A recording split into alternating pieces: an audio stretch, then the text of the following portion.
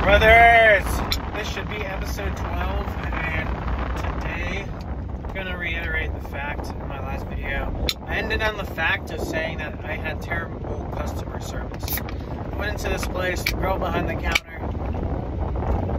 There was a girl behind the counter. I don't know, she may have been 18, she may have been 22.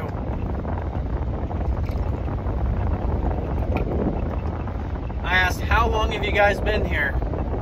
She looks up at me, knows exactly what I asked, and uh, repeats, How long have we been here? I'm like, Yes, how long have you guys been here? She's like, uh, Three months. I'm like, oh, nice. How do you secure this job? She's like, Through my boss. And then I'm like, All right, well, this item does not have a price tag.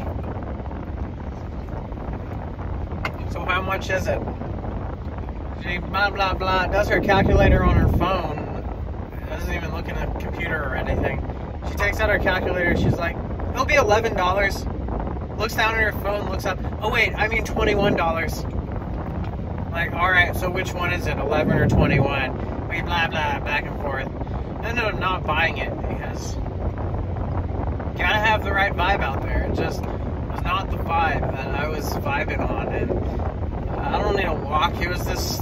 Was it was the first time visiting the store. Obviously, it was this little walk pad, and I was like, "This is pretty cool." If she's nice to me, I'll buy it. But uh, in my perception, my opinion was that like this is not as nice as this girl can be, and I've met her for a full ten seconds, and I'm already not getting the right impression. And she lost the sale.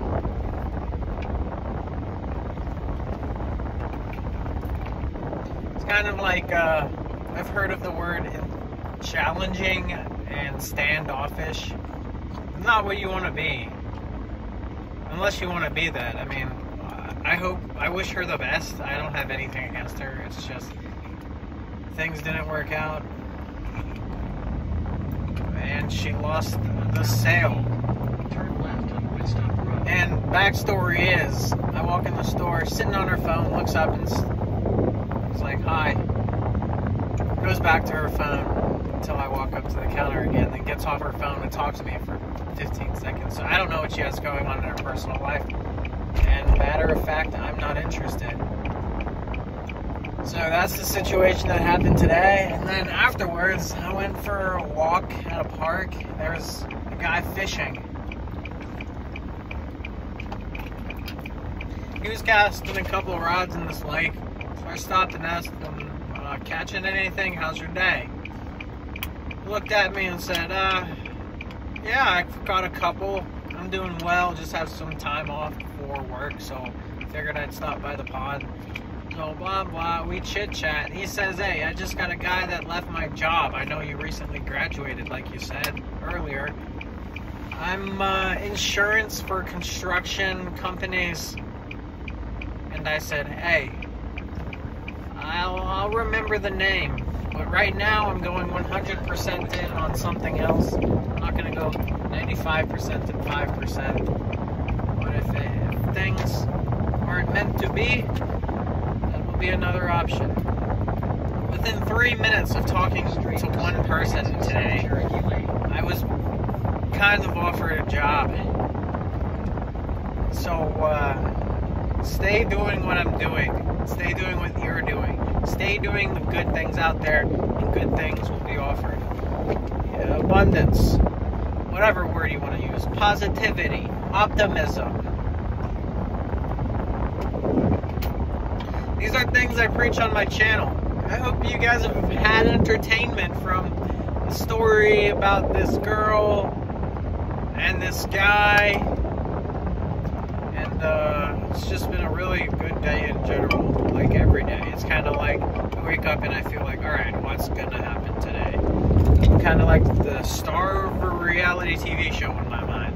If you guys can associate with that, you waking up like, man, oh man, I wish I had somebody to follow me around with a camera all day, every day. We would have some interesting footage to say the least. I have a work persona, I have a home persona, family persona, what's that other one? A school persona, a public persona. Not a school persona anymore for the time being because we graduated, baby. Going on now. Going back to school for a master's degree is going to be something I'm going to pursue.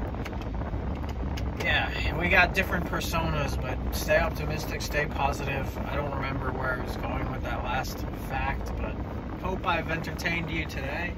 Most woke, optimistic, business minded individual with the last name and the first name and all the names. So, whatever that's supposed to mean. Hope you guys get a little entertainment, catch a good vibe, have a great day. See you guys episode 13. Watch on two times speed, 1.5 speed. Jake.